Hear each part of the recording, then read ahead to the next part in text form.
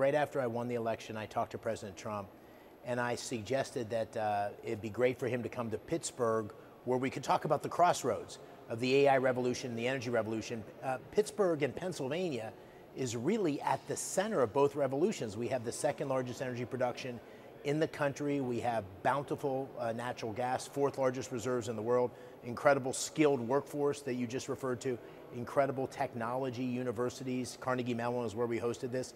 And the president agreed to do it, but, but honestly, it exceeded my expectation. We had CEOs from the major uh, investment firms.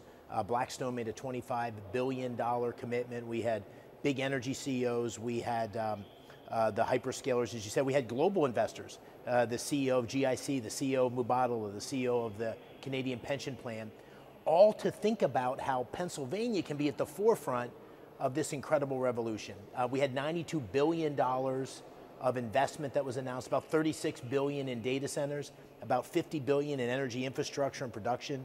Uh, that's transmission, that's distribution, um, that's a transition uh, from uh, coal to natural gas in a number of places. So this is the beginning of something very special.